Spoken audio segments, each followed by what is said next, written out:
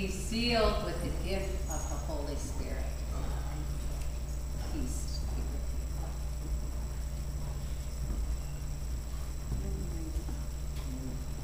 Linda, be sealed with the gift of the